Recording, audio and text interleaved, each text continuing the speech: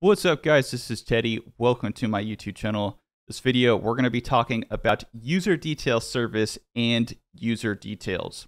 So I've got out my handy little map here of Spring Security Architecture. And this is really important because you always need this map to know where you are at in Spring Security, so to speak. If you don't have your map, it's really, really difficult to understand what's going on.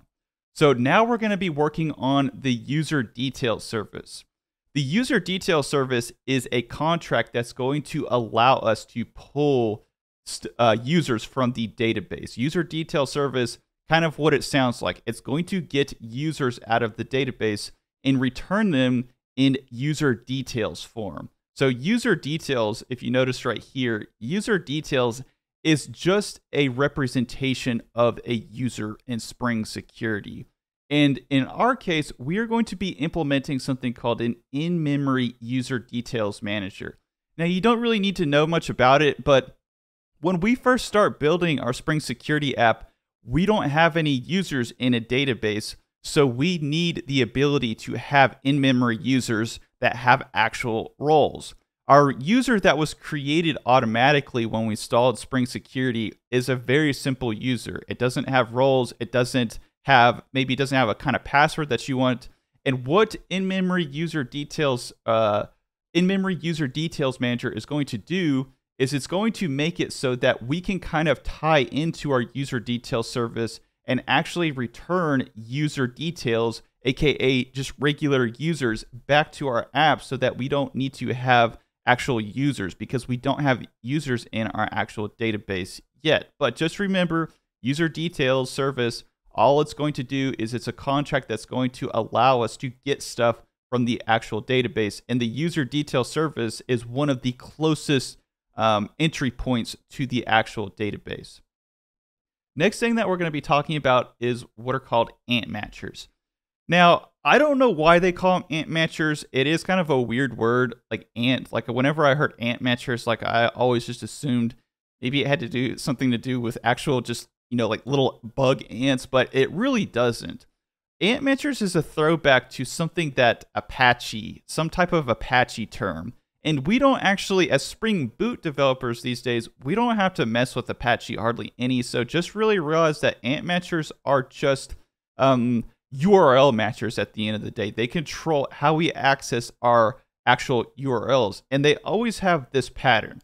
First, you always have the ant matcher, of course. And then you have the type of request that you will allow or disallow.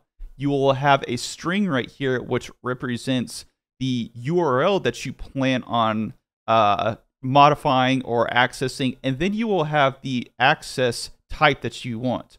With the actual access type, you could permit all, you could deny all, or more likely what you're going to do is you're going to use what's called authenticated, which is going to make it so that uh, people who use the post method have to be authenticated. There's all different variations of this. You could have uh, no get, you could have just a get and no actual string right here. And if you notice, or if you look into the actual code, there's all different types of constructors that will allow for all different types of variations. And there's even regex matchers. And we'll just get super nerdy right here. So you you may be see you, one day you will probably see MVC matchers. And this is kind of important because what you need to really realize about ant matchers is that they are incredibly specific. If you get one parentheses wrong, if you get one slash wrong, it won't work and you will literally bang your head up against the wall wondering why it won't work. But with MVC matchers, they are a lot lax laxer, they're a lot more flexible. I would still use ant matchers with web API, but if you find yourself struggling to uh, learn how ant matchers work, maybe give MVC matchers a try. And it's also a really important thing because you may be asked that in an interview set in an interview setting, and you probably want to know what MVC matchers are. So I, I would maybe give MVC matchers a Google and learn just a little bit about them so that you know uh, a little bit how they work.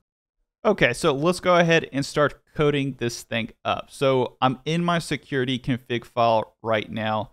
And what I want to do now is let's just exper experiment with ant matchers and let's just learn a little bit about how ant matchers actually work. So um, later on down the line, we will add more complicated ant matchers, but for right now, let's just go in here and let's just make it so that we can actually use the GET request for all of our endpoints. And that might actually make sense for your API because GET requests are typically something that maybe you want the public to be able to access, maybe not. It's your app. I trust that you kind of know what you want to do. The next thing is that we are going to just go down here and we're going to start working on our user details service. So what's going to happen is that this is going to actually return a user details service. And here's where we are going to implement a actual in-memory user. So we're going to go in here and what is going to be returned is a user details. And this is important because notice the relationship between them. A user details, we are returning actual users. We are returning in-memory users. They might not be in a database, but uh, we're tying into the user details service and we're um, we're actually building our own users. So we go here, then we are going to give this a username. Uh, feel free to call it whatever you want to, but I'm just going to call this an admin. Need to give this double quotes here. And also need to get my user. So bring in user. And next what we're going to do, we're going to give it a password. For right now, we are just going to be using clear text passwords, but this is just for being able to actually work on our app. We are going to change this down the line. And the role that we're going to have is admin and we can also go up here and have build. So let's go ahead add another user detail. So here we have user, we have user dot builder, and same exact thing. We're going to go down here. We're going to give it a username of user. We're going to go user right here, and we're going to give it a password of the password now we're going to go down here and we're going to give it a role of user. And one of the reasons that we actually have this uh, in-memory authentication is because here you can actually go and add roles. You can permit it by role. So we'll say has any role, has role.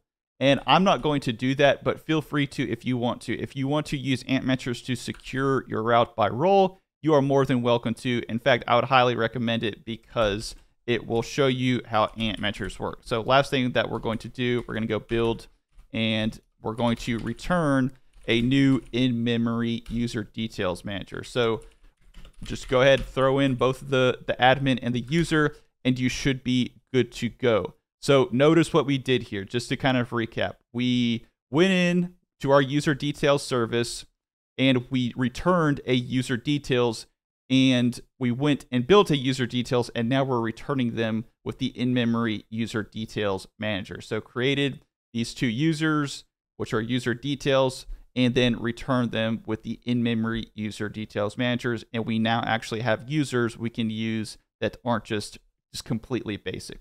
Anyways, hope that you guys enjoyed this. If you did, make sure to hit that like button, make sure to hit that subscribe button. And as always, thank you for watching.